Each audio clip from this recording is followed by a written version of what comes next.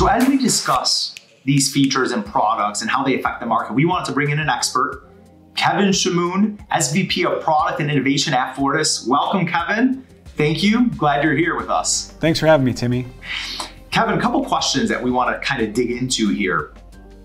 In your words, from your perspective, what is this feature that some call retained amount, others call split funding, um, others may call it split deposits or split payments, secondary amount. We've heard a lot of different terms. What does that mean to you and why is it important? Retained amount is the ability for a software company to dictate an amount from a single transaction that's going to be withheld from the merchant's deposit. And the use cases are, there's plenty of them. Uh, the most notable is uh, gives the ability for the software company to collect some SaaS fees in line with transaction processing. So if a, an ISV or a software company wants to withhold you know, a couple percentage points uh, from a transaction standpoint, they have that ability by using the retained amount field. We can use it for uh, things like a percent of the transaction goes to maybe a good cause from a donation standpoint. Um, the other use case would be around uh, like a roundup situation to, to be able to use uh, those pennies from a deposit standpoint uh, on a transaction uh, to retain that as well.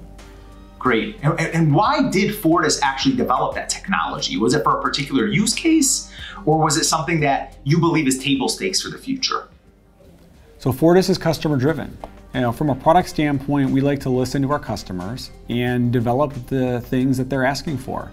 You know, from an innovation standpoint, we try to get ahead of the curve. We like to be leading edge.